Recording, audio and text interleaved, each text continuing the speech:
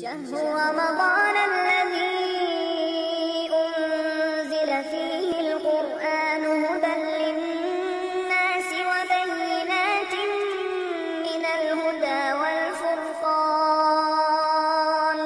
فمن شهد منكم الشهر فليصم আহমদুহু অনুসল্লি আল্লাহ রসুলহিল করিম আম্মাবাদ আব্দুল কাইয়ুম ভাই আপনি কয়েকটি আয়াতের উদ্ধৃতি দিয়ে বলেছেন যে, ইসলাম পরিপূর্ণ ইসলাম পরিপূর্ণ হওয়ার পরেও যে সমস্ত আলেমুলামাগণ মাঝহাব ছাড়া কিছু বুঝেন না মাঝহাবের উদ্ধৃতি দিয়েই বলার চেষ্টা করেন, তারা কি এই আয়াতগুলি পড়েন না? তারাও আয়াতগুলি পড়েন।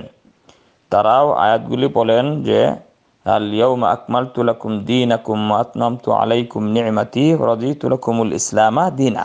ইসলাম পরিপূর্ণ, এতে বিন্দুমাত্র সন্দেহ নেই। কিন্তু বুঝ কিন্তু পরিপূর্ণ না জ্ঞান সবার পরিপূর্ণ না। নবী সাল্লাহ সাল্লাম যেভাবে ইসলাম বুঝেছেন সেইভাবে কি বর্তমান জামানার সকল আলেমরা মিলে অতটুকু বুঝ রাখে কিনা অতটুকু বুঝ রাখে না। সাহাবাই কেরামদের ভিতরে আল্লাহ রসুল এন্তেকাল করার পরে সাহাবাই কেরামদের মধ্যেও বিভিন্ন মসলা মাসাইলে বিভিন্নভাবে আহ, আহ, মতভেদ মতানৈক্য বা দ্বিমত দেখা গিয়েছে। দ্বিমত থাকতে পারে, কারণ নবীর মতো বুঝ কারও নেই। দিন পরিপূর্ণ, কোরআন, হাদিস, আর নতুন কিছু আসবেও না এখান থেকে কমানো যাবে না। দিন একদম কমপ্লিট, কিন্তু মানুষের বুঝ পরিপূর্ণ নয়। সুতরাং বুঝ পরিপূর্ণ করতে বিভিন্ন আলেমের বুঝ, বিভিন্ন আলেমের কৌল বিভিন্ন আলেমের আদিল্লা, এগুলি যদি একত্রিত করে, যদি সঠিকটা বের করে মানার চেষ্টা করা হয়, তাহলে সঠিকটা পাওয়া যাবে।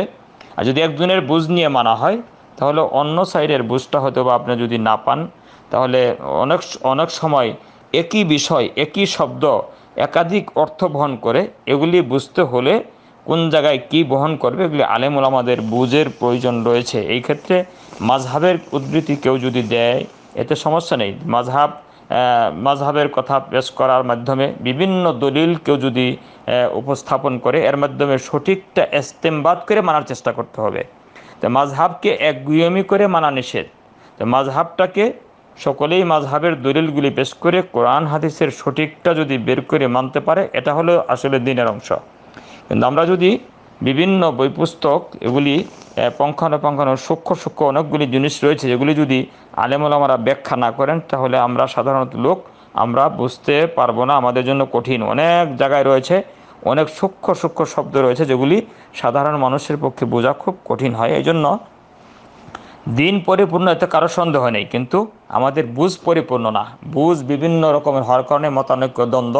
এই দ্বন্দ্ব হওয়া উচিত নয়। সকলের খেয়াল হওয়া উচিত, সকলের নিয়ত হওয়া উচিত। আমরা যে যেটাই বুঝি না কেন, সঠিক বুঝটা কোরআন হাদিসের সাথে মিলিয়ে মানার চেষ্টা করাটাই হলো দিনের কাজ। এটাই আলেমুলামারা করার চেষ্টা করেছেন। আর যদি আলেমর আমরা বিভিন্নভাবে ব্যাখ্যা, বিশ্লেষণ না করতেন, তাহলে দিনের অনেক জিনিসই অস্পষ্ট সাহাবাই কেরামদের মধ্যেও সকলেরই কিন্তু সমান জ্ঞান ছিল না। নবী সাল্লাহ সাল্লাম সব জানতেন, কিন্তু সাহাবাই কেরামরা কি এরকম সব জানতো কিনা? সাহাবাইকে আমরা কেউ পাঁচশো হাদিস জানতো, কেউ পাঁচ হাজার হাদিস জানতো, কেউ পাঁচটা হাদিস জানতো, কেউ দশটা হাদিস জানতো। যিনি পাঁচটা হাদিস জানেন, তেনার কাছে কি পাঁচ হাজার হাদিস যিনি জানতেন? সমান জ্ঞান? না, সমান জ্ঞান হতে পারে না। তাদের ভিতরেও কম বেশি ছিল। এই জন্য সকলেই সম্মিলিতভাবে মিলিয়ে দিনটা মানার চেষ্টা করবে। সঠিক দলিলের ভিত্তিতে, সঠিক মতের ভিত্তিতে যাতে কোরআন এবং হাদিসের সঙ্গে মিল হয়। কোরআন হাদিসের বাহিরে যখন যাবে, তখন সেটাকে প্রত্যাখ্যান করতে হবে। এতে কোনো ইস্কাল নেই। ও সাল্লাহ নবীনা মোহাম্মদ।